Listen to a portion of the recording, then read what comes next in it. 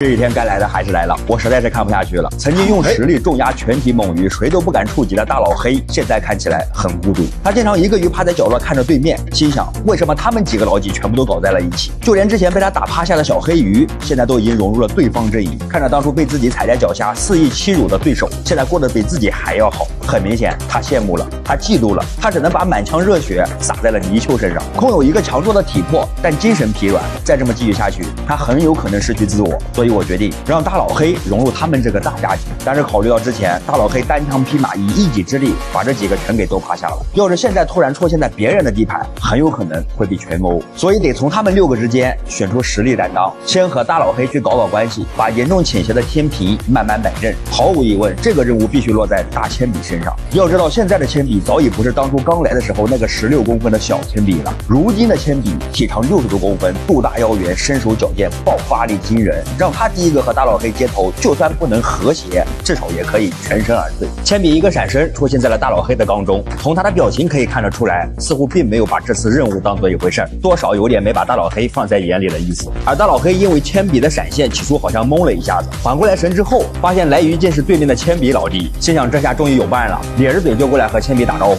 这时候的铅笔也不知道出于什么原因，面对大老黑的热情迎接，都没正眼看别人，反而扭头就跑。不跑不要紧，这一跑坏了。大老黑不乐意了，那气呼呼的就搁后面追啊！人家那是天天趴在那里瞅，眼都瞅出皮了。好不容易把对面的哥们给盼过来一个，说什么也得好好的玩耍玩耍不是？就这样，铅笔跑，大老黑追。经过一番交流之后，气氛终于得到了缓和。只要铅笔和大老黑能够和谐共处，就能为后期的多余建交奠定一些基础。